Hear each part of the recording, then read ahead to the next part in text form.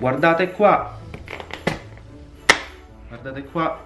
Quante bolle sopra sotto di lato. È perfetto. Passiamo adesso allo staglio e alla formatura. Io farò una formatura molto molto semplice proprio per tutti.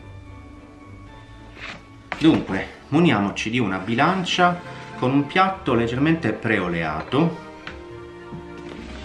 E mettiamo un po' d'olio sia sul ripiano potete usare anche la farina però vi consiglio l'olio perché con la farina rischiate di incorporarne troppa e poi non si chiude bene non tanto olio, eh? proprio uno straterello sottile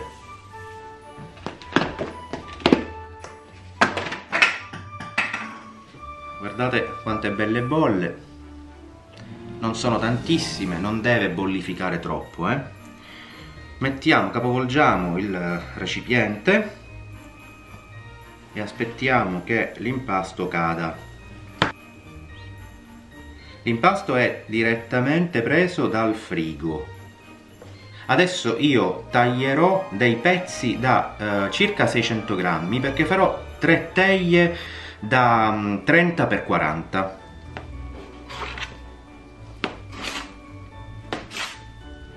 perfetto 620 grammi. La nostra chiusura sarà veramente semplicissima. Ve la faccio vedere meglio mettendo qua l'impasto. Non dobbiamo fare altro che portare tutti i lembi al centro.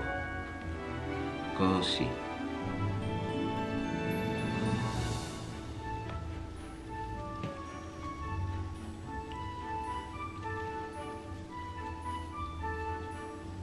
dopodiché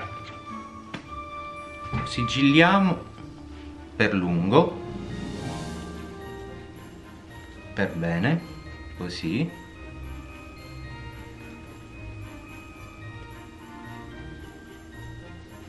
Vedete vorrei farvelo vedere nella migliore maniera possibile. Si può fare anche così. Si oleano queste parti e si chiude così premendo molto bene. A questo punto capovolgiamo e chiudiamo. Basta. Mettiamo in un contenitore preoleato con la chiusura verso il basso. E continuiamo. Adesso chiudiamo tutti i contenitori adesso lasciamo i nostri contenitori a temperatura ambiente preferibilmente magari dove ci sono 22-24 gradi se avete questa possibilità a casa altrimenti va bene ovunque. L'importante è che non li mettiate eh, davanti a una finestra aperta altrimenti non lieviteranno mai.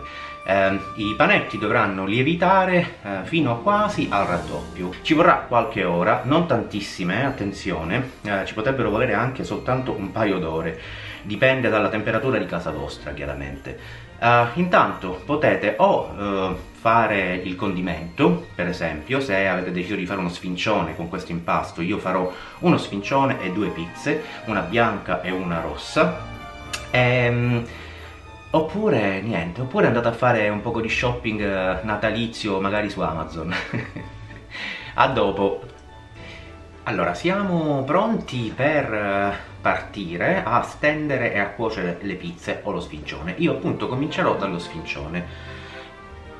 È bella raddoppiata la pasta, quindi adesso passiamo alla stesura. Attenzione, la ricetta tradizionale dello sfincione, eh, che a Palermo si consuma in grandi quantità tra Natale e Capodanno, eh, è un'altra e la potete trovare cliccando qui o qui. Uh, questa è una ricetta contemporanea, quindi è uno sfincione molto più bolloso all'interno e molto più leggero rispetto a quello uh, tradizionale che invece prevede anche l'utilizzo di strutto. Qui non ne abbiamo usato strutto, quindi è una variante con cui possiamo mangiarcene un pochettino di più. Cominciamo a stendere. Dunque, per prima cosa oleiamo per bene una teglia. Questa è l'unica teglia non 30x40 questa è una 28x35 perché la stessa quantità di sfincio la stessa quantità di pasta eh, per una pizza che è sottile la userò per fare lo sfincione che invece deve venire più spesso, quindi uso una teglia un po' più piccola per 600 grammi di eh, pasta. Stendiamo bene anche i bordi. Ok. Mettiamo da parte. Adesso per la stesura, in realtà lo sfincione tradizionale si stende direttamente sulla teglia noi invece lo stenderemo come se fosse una pizza così familiarizziamo anche su come si stende una pizza in teglia mettiamo tanta semola rimacinata eh? Uh, parecchia guardate qua sul piano di lavoro facciamo cadere facciamo cadere l'impasto sulla semola così. Dopodiché mettiamo altra semola abbondante sulla superficie in questo modo. Facciamo un po' di spazio qua che ci serve dopodiché cominciamo a stendere con i polpastrelli non schiacciando totalmente dai bordi al centro dai bordi al centro.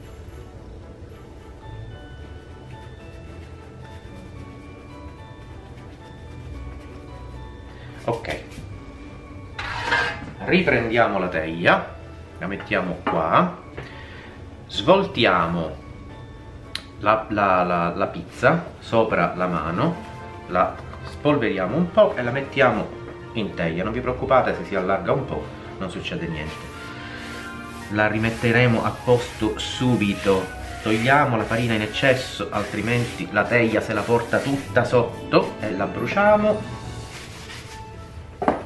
E cominciamo a stendere. Non tocchiamo il centro allunghiamo soltanto i bordi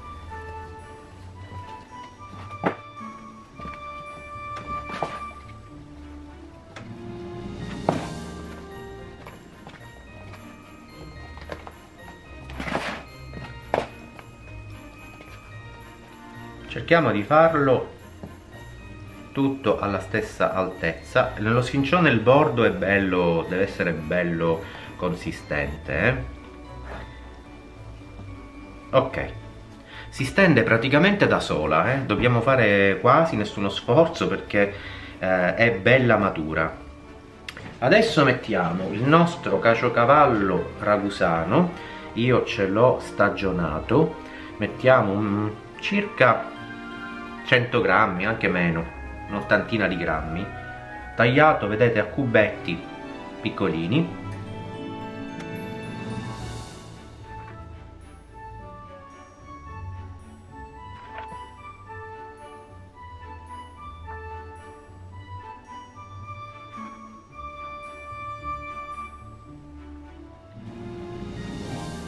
Schiacciamo proprio leggermente il formaggio all'interno e mettiamo il nostro condimento il condimento lo trovate nella ricetta che vi avevo indicato poco fa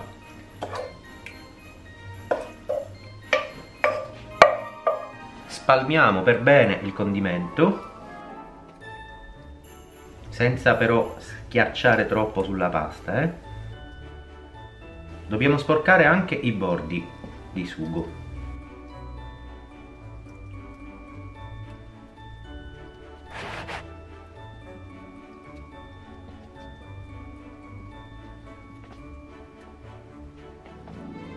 Adesso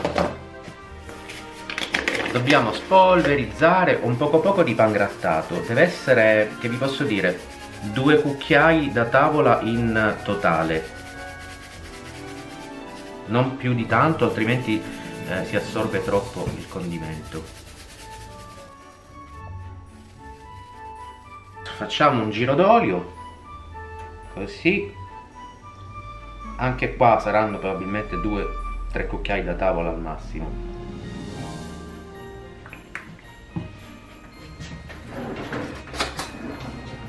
E con un cucchiaio eh, pulito. Schiacciamo leggermente così che il pangrattato si appiccichi alla salsa o all'olio e non bruci in cottura eh? questo è importante altrimenti avremo un pagrattato carbonizzato se volete mettere una spolverata di parmigiano lo potete fare pure ma il caciocavallo ragusano è particolarmente ehm, saporito per cui evito adesso inforniamo 220-230 gradi forno statico 20-30 minuti ripiano sul ripiano medio-basso del forno. Se lo volete bello bruciato sopra, date gli ultimi due minuti con la funzione grill. Ed eccolo qua pronto. Ha un odore favoloso. Adesso se volete gli potete mettere poco poco di origano su. Così l'aroma sarà ancora migliore dopodiché lo dobbiamo mettere su una gratella sotto è bello cotto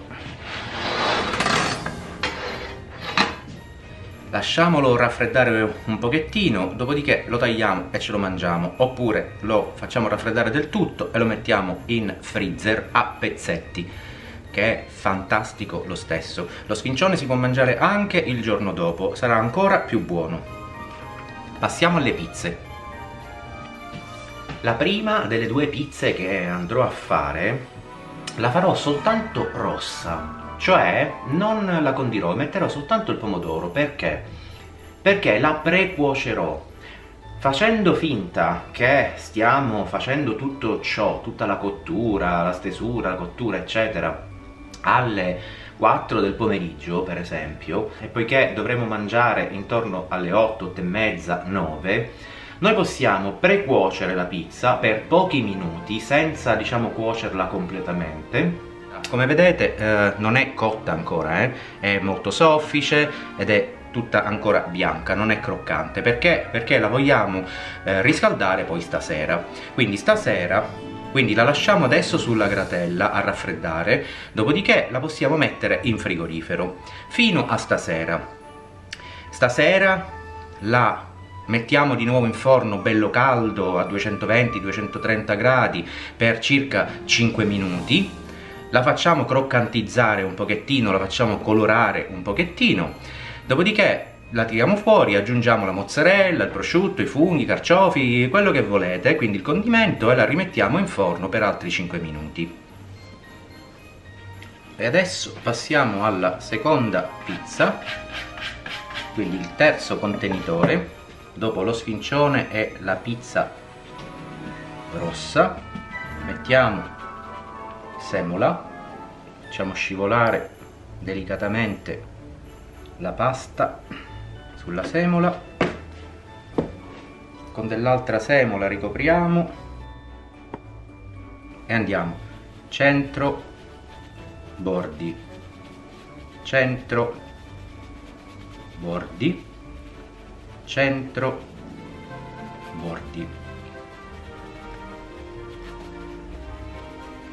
perfetto. Prendiamo la teglia preoleata. La mettiamo qua. Prendiamo un angolo giriamo spolveriamo e mettiamo in teglia. E cominciamo a stenderla. Tiriamo i bordi eh.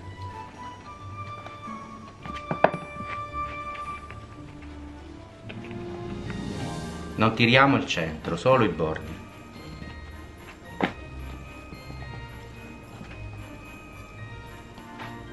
schiacciamo un po' i bordi qua.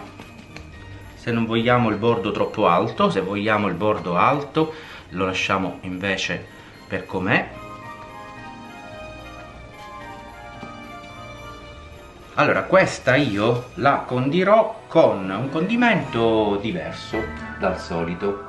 Un po' di mozzarella.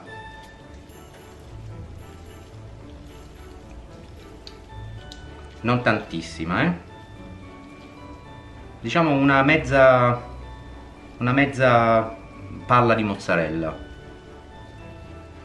Ben scolata. Dopodiché ho preparato queste che sono due zucchine grattugiate grosse a cui ho aggiunto del, un pizzico di sale e l'ho lasciata in uno scolapasta per un'oretta in frigo. Dopodiché l'ho strizzata benissimo con le mani, non deve essere acquosa altrimenti eh, avremo una pizza praticamente tutta bagnata. Io personalmente aggiungo un altro poco poco di mozzarella sopra, ma pochissima. Una passata di olio, che saranno 2-3 cucchiai da tavola, Cuocete in forno statico con le resistenze accese sotto e sopra, nel ripiano più basso del forno, a 220-230 gradi per circa 15-20 minuti. Gli ultimi 5 minuti la dovete spostare però nel ripiano medio-alto, così che sopra il bordo diventi croccantino. Naturalmente andateci un po' ad occhio perché a voi può piacere più scura o più chiara e il vostro forno potrebbe essere diverso rispetto al mio. E questa è pronta. La condisco con un po' di mortadella e qualche goccina di pesto di pistacchio. Bella scrocchierella.